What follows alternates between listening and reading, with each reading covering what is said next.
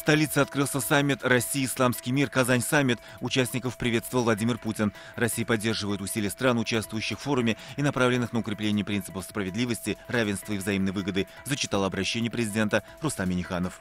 К чемпионату мира готовы. Самолеты с игроками и болельщиками футбольного мундиаля будут обслуживать в Казани, будь то крупные или небольшие частные судна. Сегодня нашей съемочной группе показали, как выглядит ремонт и осмотр самолетов изнутри.